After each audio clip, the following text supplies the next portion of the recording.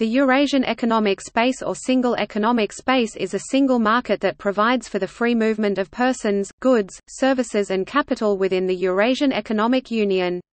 The Single Economic Space was established in 2012 with the goal of creating an integrated single market. It is inspired by the European Internal Market and the European Economic Area. The Eurasian Economic Space initially consisted of Belarus, Kazakhstan, and Russia, and was enlarged to include Armenia and Kyrgyzstan from 1 January 2015. The original treaty establishing the single economic space was terminated by the agreement establishing the Eurasian Economic Union, signed in 2014, which incorporated the economic space into the EEU's legal framework.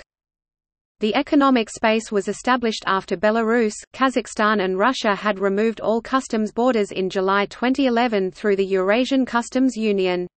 The single economic space aimed to promote further economic integration. The creation of the Eurasian economic space was guaranteed by three different treaties. The first treaty in 2003 guaranteeing its creation, the second in 2007 guaranteeing its formation and the third in 2011 announced the establishment of the economic space and the formation of the common market.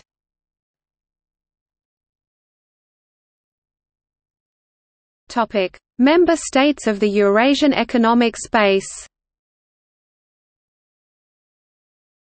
Armenia 2015 Belarus 2012 Kazakhstan 2012 Kyrgyzstan 2015 Russia 2012 Topic. See also Eurasian Economic Union Eurasian Customs Union